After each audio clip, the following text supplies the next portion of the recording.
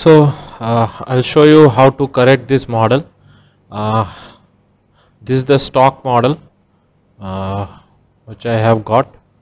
Now what I have found the error is that uh, if you go to interaction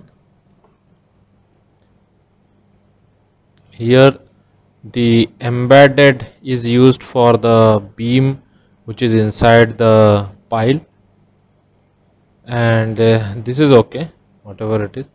Now uh, the correction that I suggest is you have to use embedded for both pile and uh, what is called the beam. Now what do I mean by pile and beam? If I expand this and uh, if I hide the soil. Now see we have the pile and then we have the beams.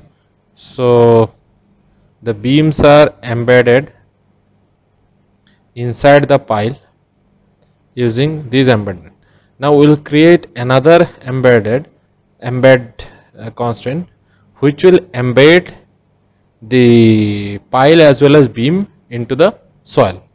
So for that uh, we'll have to do few corrections that uh, here I'll unlock this model.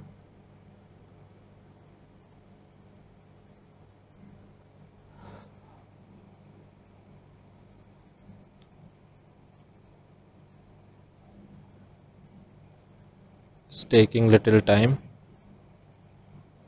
Uh, okay. Now in soil uh, what I have observed that you have created some cut uh, just to place the piles inside the soil and then you have created the partition. So I suggest not to do that.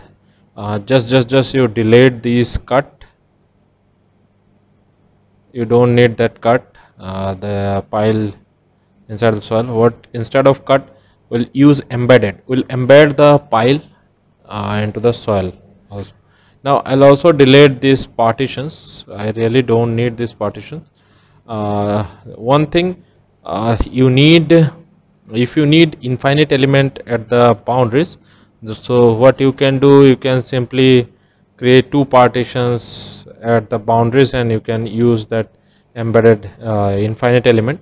But uh, for the timing I will not use any infinite element. Uh, just to just to save my time I need to select the this uh, set one because set one have been assigned as section assignment. If you check this uh,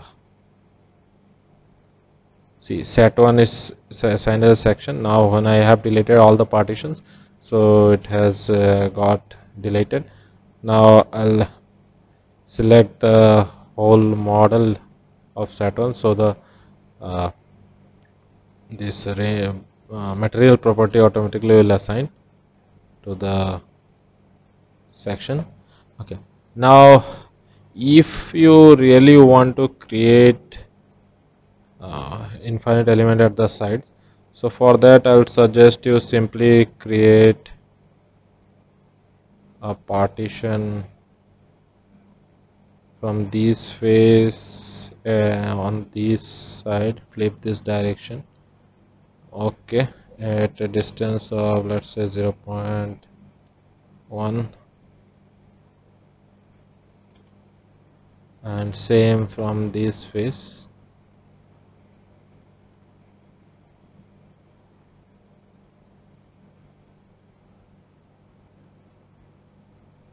Create a plane at a distance of 0.1 so two planes have been created. Now simply use this.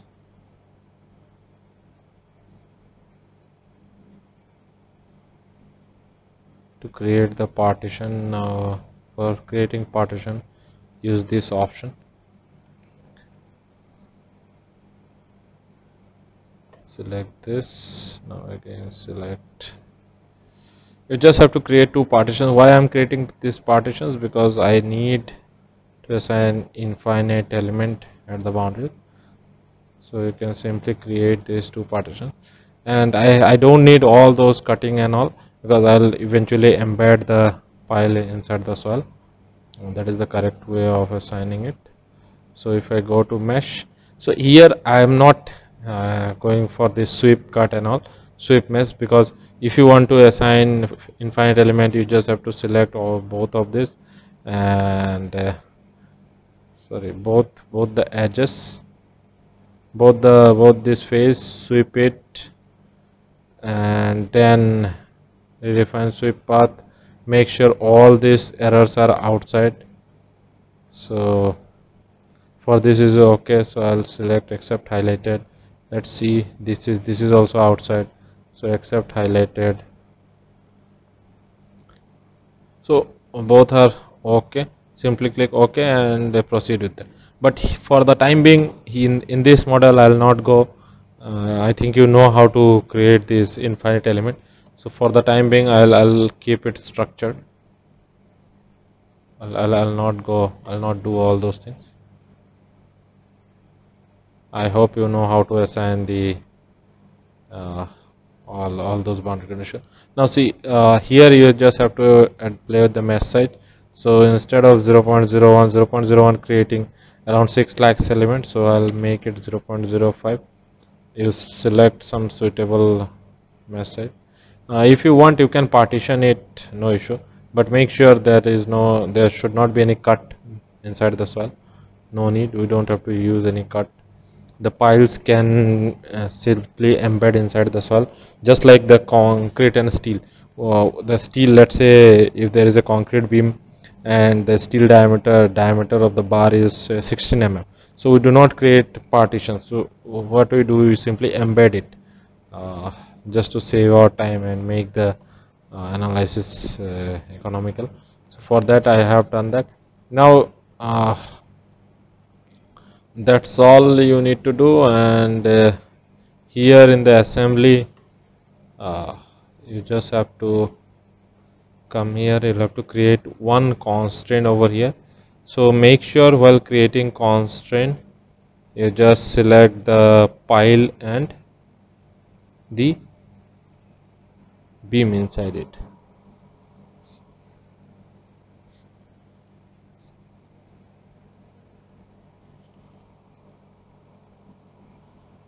so for that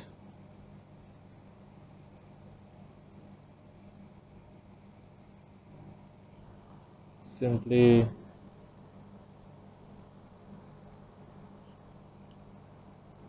go to constraint embedded region continue and make sure you select both the uh, beam and the pile both shall have to be there.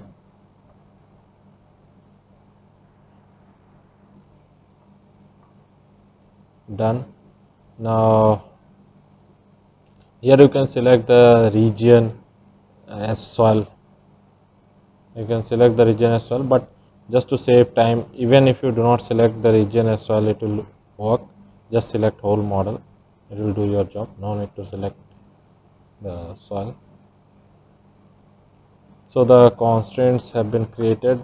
I have hidden the assembly.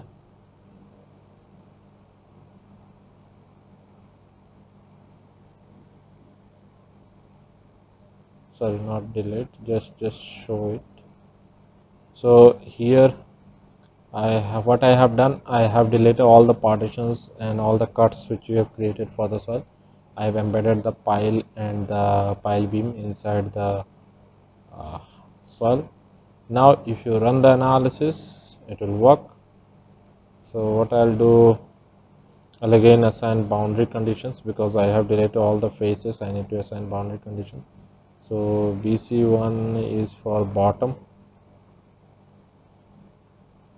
So BC1 is contains set 3 so likewise you can you can simply select all the boundary conditions which you have assigned previously?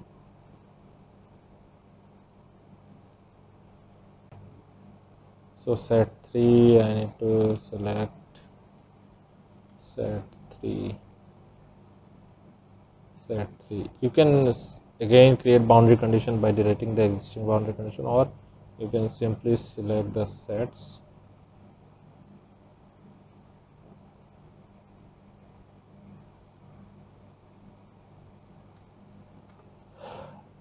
so if you have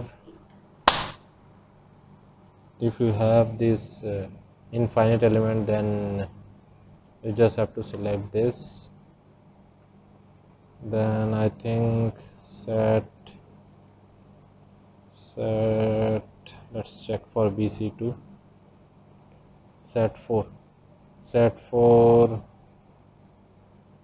is at the sides so set 4 is at the sides.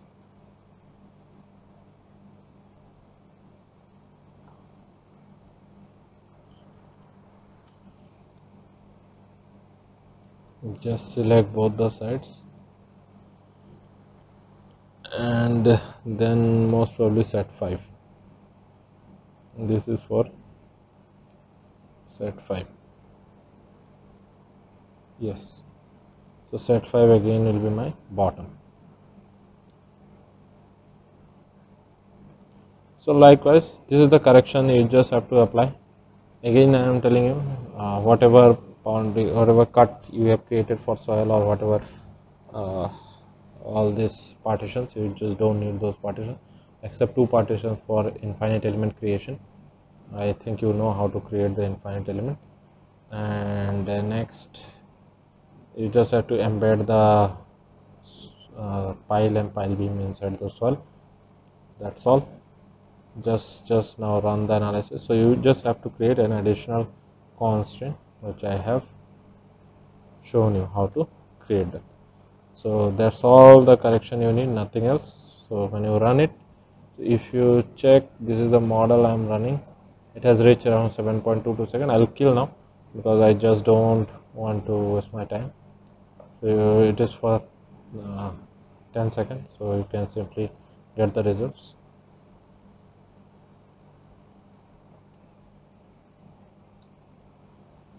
Now let us check the results.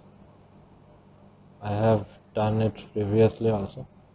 So I'll rotate the beam like this. And that's my let us check the scale scale is correct. So if I play the animation so make little faster.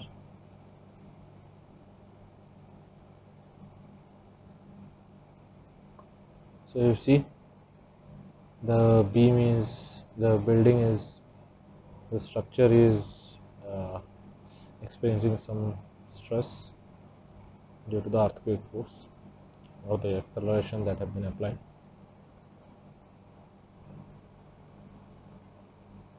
So it has reached up to 3 seconds. Now what I'll do I'll just to just for better visualization I'll increase some scale. Let's let's let's make oh, 500 is too much. Let's make it 100 so this is how the structure is vibrating. This has also become too much. That was 150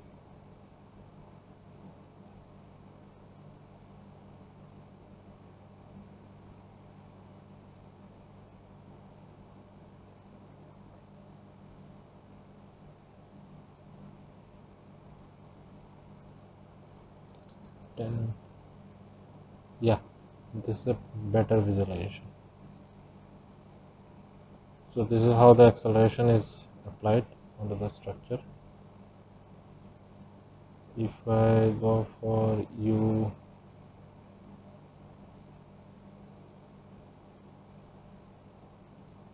U2 U1 magnitude so that's all